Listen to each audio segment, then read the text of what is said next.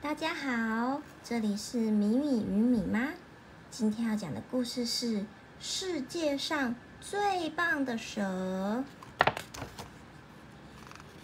从前，在法国的一个小镇，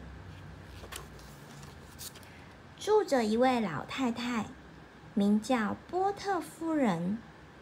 波特夫人的儿子在非洲研究爬行类动物。一天早上，邮差送来一个形状很特别的包裹。波特夫人一打开盒子，立刻惊声尖叫：“那是一条蛇，是儿子送给她的生日礼物。”为了确认那条蛇有没有毒，波特夫人前往动物园找资料。确定那是一条无毒的大蟒蛇之后，波特夫人给它取名为克里克多。波特夫人像妈妈一样照顾她的新宠物。对啊，我读了这故事很感用奶瓶喂克里克多喝牛奶。波特夫人还买了棕榈树。摆在家里，让克里克多觉得自己就像回到非洲的家。他开心的像小狗一样摇起尾巴。克里克多吃得好，睡得香，他越长越长，也越来越强壮了。克里克多跟着波特夫人上街买东西，镇上的人。都觉得很惊讶。波特夫人为克里克多织了一件长长的毛衣，好让他度过寒冷的冬天。克里克多有一张温暖、舒服的床，在棕榈树下，他做着又香又甜的美梦。冬天到了，克里克多喜欢在雪地上像波浪一样蠕动着前进，呵呵，真是太有趣了。为什么他们的数学那么简单？一加一等于二，谁不知道？这个是小小朋友啊。波特夫人在一所小学教书。有一天，她带克里克多到班上去。嗯。克里克多很快就学会用自己的身体排出英文字母，S 是蛇，E 是大象，N 是没有，L 是狮子，M 是男人，G 是玻璃杯，W 是鲸。克里克多也会算数。他用自己的身体排出数字：二是两只手，三是三只小猪，四是四条腿的狗，五是五根手指头，六是六只脚的昆虫，七是七个小矮人，八是八爪章鱼。克里克多喜欢和小男孩玩耍。也喜欢和小女孩一起玩游戏。克里克多教童子军练习打绳结，也帮助其他小朋友。它是一条很棒的蛇。有一天，波特夫人和克里克多在一家咖啡厅喝下午茶。他们听说镇上发生了一连串的偷窃案件。当天晚上，小偷就闯进波特夫人的公寓。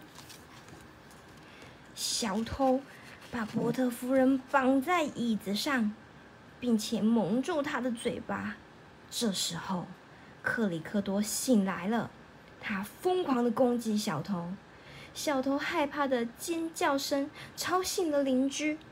克里克多紧紧的缠住小偷。一直等到警察赶过来。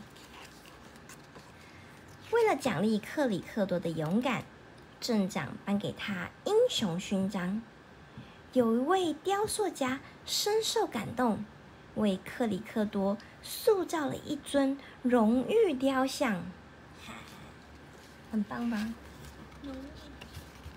镇上的人还特别为他建造了一座公园，受到大家的喜爱与尊敬。克里克多过着幸福又快乐的生活。这边有作者介绍、译者介绍，以及哎方素珍，令人又惊又喜的克里克多。你怕蛇吗？我怕极了。每次去台北华西街夜市，我一定避过卖蛇汤的摊位。只要看见有蛇的图片，我一定立刻翻页跳过去。但是这些年，我一直在选译和十二生肖有关的绘本。二零一三年是蛇年，我只好努力寻找有关于蛇的绘本。刚好在一堆外文书中看到了这本书，这是一九三一年出生在法国的汤米·温格尔的作品，一九五八年出版至今，已经五十多年了。也就是你手上的这本《世界上最棒的蛇》。本书的色调除了黑和白，全是清新的淡绿色，只用了一点点的红。线条明快简洁，给人一种安静祥和的感觉。即使是一本老作品，轻松的故事内容和淡雅的画风，仍然令人叹为观止。当波特夫人确认克里克多是一条无毒的蟒蛇后，就把它当成宠物，喂它喝牛奶、织毛衣、布置卧室，并且带他去散步，甚至带他去上课。最有创意的是，克里克多居然用身体。拼出英文字母和数字，而且克里克多乐于助人，在危险的关头，他还抓到了小偷，因此获颁英雄勋章，得到全镇的认可和嘉奖哦。大部分的人看到蛇总是不寒而栗，但是作者温格尔让克里克多表现幽默、热心又勇敢，让人感觉不到他是可怕的爬行类动物。在他诙谐的笔下，克里克多完全融入人们的生活，不但和优雅的波特夫人一样穿着、喝下午茶、逛街，甚至还具有英雄气质。故事也许有点荒谬，但内容清新活泼，每个细节到处都处理得巧妙有趣，读者不知不觉就被可爱的克里克多吸引住了。呵呵。如果蛇也能看得懂这本书，一定会很开心。作者为他们平反吧。作者温格尔擅长以负面的人事物当做作品的主角，塑造出个性独特、富于魅力的绘本明星。而本书蟒蛇克里克多更是个个中翘楚，完全改变了蛇在人们心中的形象。由此可见作者的艺术功力。绘本的耐看在于，读完故事后还可以回头细细品尝图像所表现的趣味性。例如，克里克多许多可爱的表情。当波特夫人吓得惊叫时，他的眼睛也睁得圆圆大大的，像个无辜的孩子。波特夫人为他织毛衣时，他眯着眼睛，洋溢着幸福的感觉。抓小偷时，他的表情又凶狠的不得了。回头看看封面，你发现了吗？波特太太仿佛镶在一个相框中，那是克里戈多围绕着他呢。当然，对于蛇心怀恐惧和偏见的人，不可能因为看完本书就可以热情的和蛇打招呼，这可不是科学绘本。